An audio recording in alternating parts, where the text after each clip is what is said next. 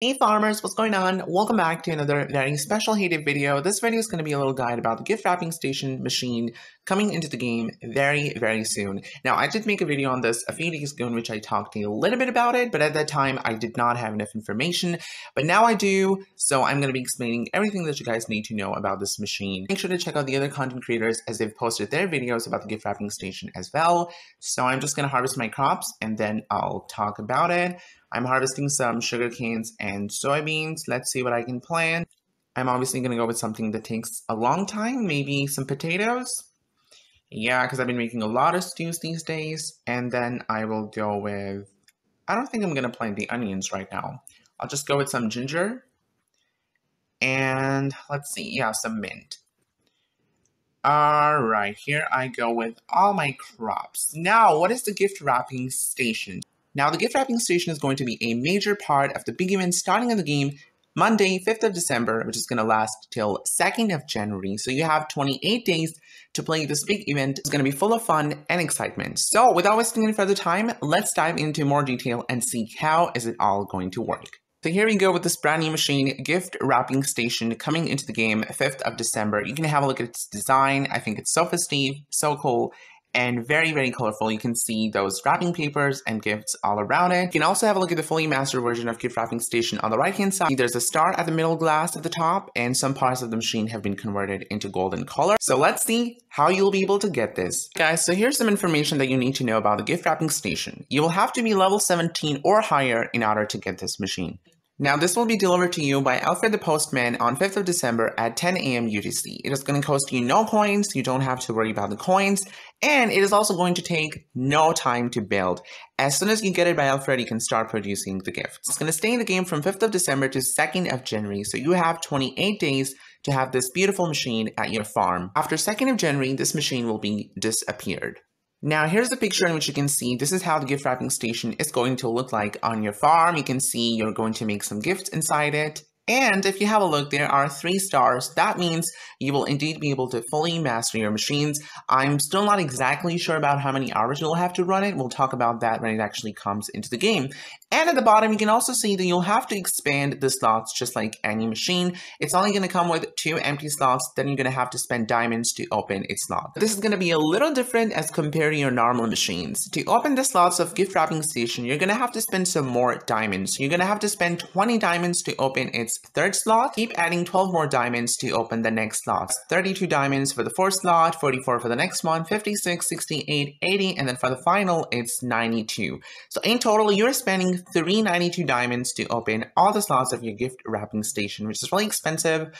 I'm not sure if I'm actually going to do this. I might just work with 5 slots. Again, we shall see when it's actually inside the game. Now, you must be wondering what this gift station is going to do. Well, just like any other machine makes the products in the game, this machine is going to produce the gifts that you can see in this picture. We have a snowflake gift, green gift, stacked gift, and the long gift. Now, if you come into the game, have a look at your barn, and scroll down, you can actually see these gifts. Please remember, just like other products, these gifts are going to be available to you at different levels. So you might not have all of them in your barn, depending on your level. Well, you must be wondering how to make this gift. Let's dive into more detail and check it out. Alright, so the very first gift of this machine is the snowflake gift. You can have a look at its animation at the left hand side. To make this, you're going to need one cookie, 3 indigos, and 3 milk. This is going to unlock at level 17 and this will take 45 minutes. The next is the green gift, unlocking at level 25. You're going to need 1 violet dress, 3 chili pepper, and 3 apples to make it.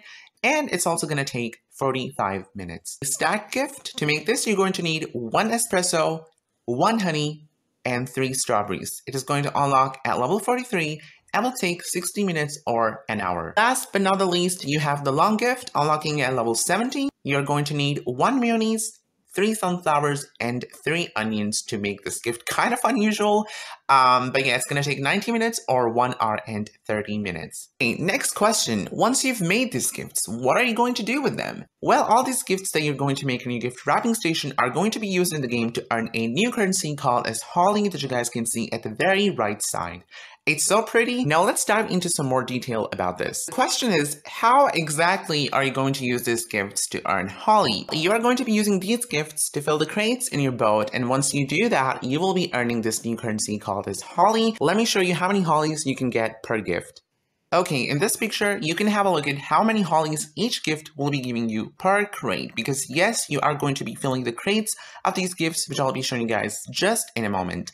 So the Snowflake gift will be giving you 20 hollies per crate, Green gift 25 hollies per crate, Stacked 25, and the long gift 30 hollies per crate. Well, starting off the 5th of December, each boat that's going to come to your farm will be asking for the gifts, and you will have to fill these gifts in the crates to earn the hollies. For example, here's a picture showing the stacked gift in the boat. You have three crates of it, and each stacked gift crate is going to give you 25 hollies. That means by filling all gift crates, you are earning in total 75 hollies, which is pretty cool. Another example showing the long gift, this time with 4 crates, each is giving you 30 hollies. This means in total you're getting 120 hollies, which is a lot. So I think earning hollies is definitely not going to be a problem. How are you going to know how many hollies you've already collected? Well, after 5th of December, just under the voucher section, you're going to see that little gift sign showing you how many hollies you have already collected. So all your collected hollies will be shown at this point. Well, in this picture, you can see someone has collected 75 hollies, which is showing just under the voucher. Okay, now I'm sure you must have learned how are you going to earn the hollies. By filling the boat crates, each boat is going to come with the gifts, and each gift is going to give you a different amount of holly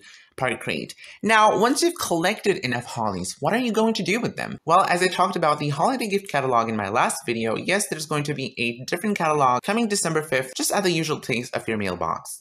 Now, this is how your holiday gift catalog is going to look. Please remember, this is just an example to show how it's going to look. The exact figures and stuff can vary depending on your level. So for example, in this picture, we can see you're going to get chick vouchers, um, blueprints, expansion permits, spending the hollies, and it is showing you when it is actually going to come. So each week, starting Monday, you'll actually be able to see what kind of gifts are there for you to purchase so you can prepare for what are you going to buy. Well, in this picture, we can see there is a figure skater gnome for 50 hollies, and then you have three expansion permits, you have puzzle pieces. And guys, this is just an example and not the accurate information. This gift catalog is probably going to vary person to person. Once you've purchased something from the gift catalog, you'll not be able to buy it again, and there's going to be a tag of sold out showing that you cannot get it anymore.